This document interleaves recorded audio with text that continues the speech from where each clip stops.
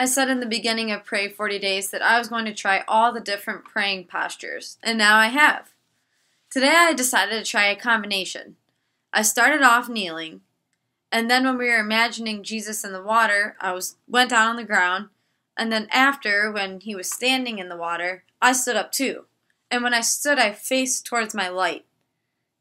Um, I don't really think anything is ironic anymore but I've started thinking Godronic because he makes all these amazing ironies happen in our lives. So it was Godronic to me that my power was out, I didn't have any light, and then we hear this passage about the sky opening and the light bursting through.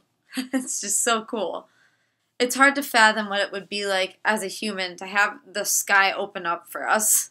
It's breathtaking just to see like when light burst through a cloud or a rainbow or anything in the sky is is so cool. So to have heavens open up for us, I couldn't really even imagine.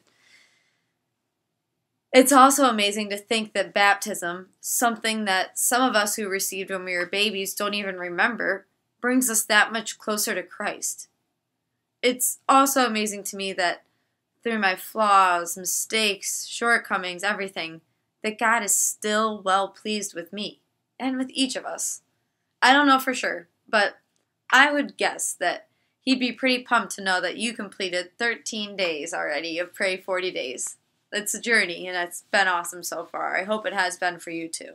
Thanks for doing this with me.